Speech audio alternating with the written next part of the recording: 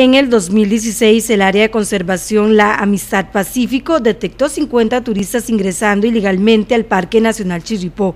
Sin embargo, por la falta de personal, no se pueden hacer operativos todas las semanas, por lo que la cifra sería mayor.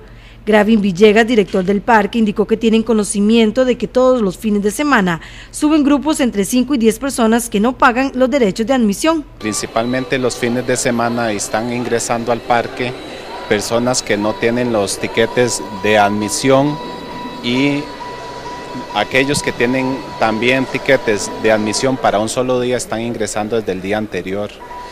Entonces, en la parte alta y en Llano Bonito principalmente hemos detectado algunos problemas con relación a los turistas ilegales. Para entender un poco mejor el tema, ¿qué es un turista ilegal? Turista ilegal es aquella persona que ingresa al parque sin contar con los eh, derechos respectivos de, de, ingreso, que no ha pagado los derechos de admisión, que no se ha registrado en las oficinas administrativas en San Gerardo de Rivas. Y también son turistas ilegales aquellos que si pagan para un día determinado ingresan desde el día anterior en horas de la noche, puesto que el ingreso al parque es a partir de las 3 de la mañana para los turistas, tanto que ingresan por un solo día como los que van a pernotar a la parte alta. ¿Qué sanciones reciben esos turistas ilegales? Eh, los turistas que detectamos que van ilegales eh, los regresamos, los devolvemos a, San Gerardo de Rivas y también le, le hacemos una medida cautelar administrativa.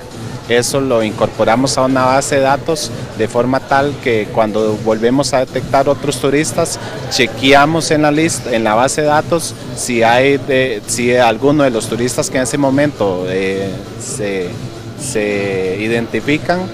Entonces, si estos que se identifican están en la base de datos, que en otra ocasión han sido detectados como turistas ilegales, entonces se llevan a los tribunales de fragancia por desacato a la autoridad y es que hay mucha preocupación. Semanas atrás, por ejemplo, se encontraron a turistas haciendo fogatas y eso podría generar hasta un incendio forestal. Es muy bueno que todos quieran conocer el Parque Nacional Chirripó, además de que es de todos los castarricenses, también hay un arraigo de los eh, vecinos de San Gerardo, Herradura y obvio del cantón de Pérez Celedón, sin embargo todos tienen las mismas posibilidades con el sistema de reservaciones. El tema es que los turistas que están ingresando ilegales eh, acampan dentro del parque en algunos sectores que ya tenemos identificados y en esos lugares hacen fogatas para preparar sus alimentos.